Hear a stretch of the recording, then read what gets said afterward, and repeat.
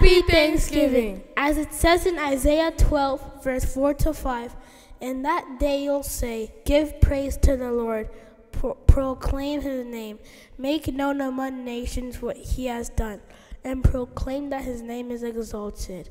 Sing to the Lord, for he has done glorious things. This, let this be known to all the world.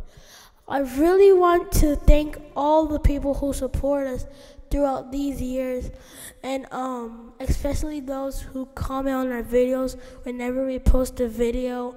I'm really thankful to God that He gave us the air to breathe, even though we don't pay for it. And I'm really thankful for my life. And um, I hope you guys have a very amazing, happy Thanksgiving. And you guys should have a lot of food. Happy Thanksgiving. Like Denzel said, God has done so many things for us throughout this year.